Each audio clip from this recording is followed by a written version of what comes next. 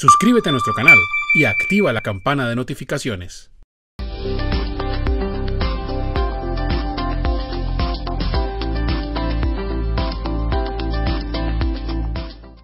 Un contribuyente persona natural recibe comisión de una universidad por cada estudiante que logra vincular a la institución. Se debe emitir factura por esta actividad.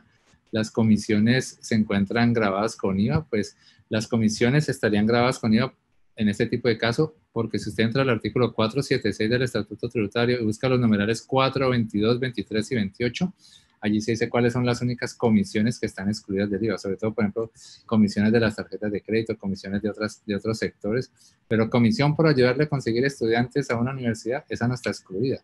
Entonces, si no está excluida, estaría grabada. Y si es una persona natural la que se va a ganar esa comisión, pues entonces ya saben que habría que mirar si tiene todos los requisitos para funcionar como un no responsable del IVA. Esos requisitos están en el parágrafo tercero del 437 del Estatuto Tributario. Eso es lo que llamamos el antiguo régimen simplificado.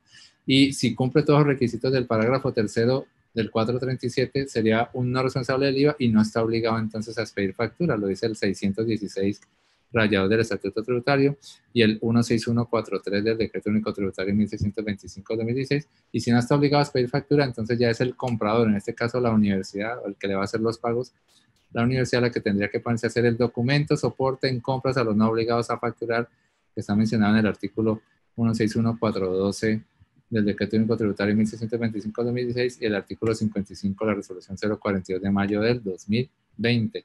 Recuerden que para saber si una persona natural cumple o no los requisitos para funcionar en este año 2021 como un no responsable del IVA, pueden mirar este material del portal. Se los dejo de reseña. Buscan acá en el portal estas palabras claves, ¿sí? Y esto, esto fue publicado, vamos a quitar esa rayita de allá. Esto fue publicado el 6 de enero del 2021. Ahí están los comentarios de todos los requisitos que hay que cumplir para que una persona natural pueda operar durante el 2021 como una responsable de IVA.